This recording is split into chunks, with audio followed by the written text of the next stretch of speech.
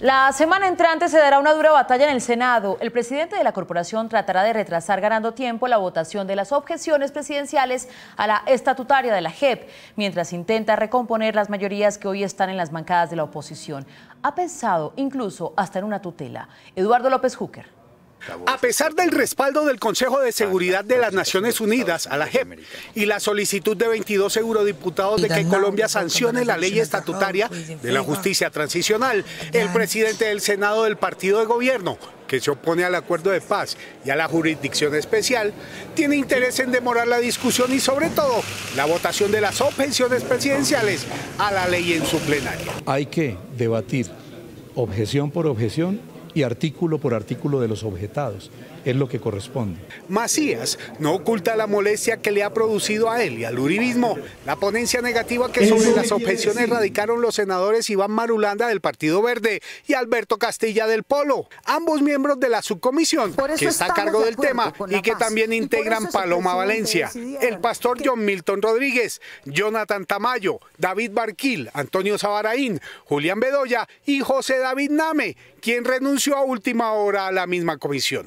Macías criticó indirectamente a Marulanda y a Castilla. Hay radicado un informe, no esperaron esta audiencia.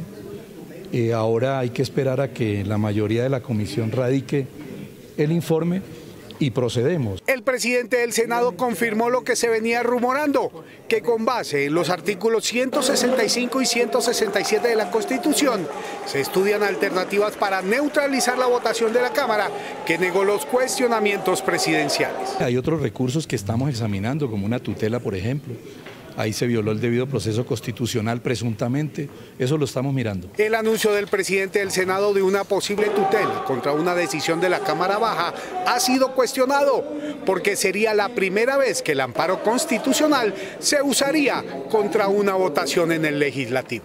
Lo que plantea el senador Macías no parece tener lógica porque no busca amparar el derecho fundamental de una persona. No encuentro razones para presentar una acción de tutela buscando que el debate de las objeciones empiece por el Senado de la República. Otros califican el anuncio de tutela como una estrategia desesperada del gobierno para dilatar la votación de las objeciones que tienen en contra los votos de cambio radical, la U, el liberalismo y los partidos de oposición. Ese es un acto digno del régimen de Maduro, de regímenes dictatoriales. Yo espero que el senador Diosdado Macías haga lo que tienen que hacer y entonces en la próxima sesión se voten las objeciones. Noticias Uno supo que los senadores Antonio Sabaraín de Cambio Radical y Julián Bedoya del Liberalismo no firmarán el informe que presentarán Paloma Valencia, John Milton Rodríguez, Jonathan Tamayo y David Barguil y que entra en contradicción con el informe de Marulanda y Castilla.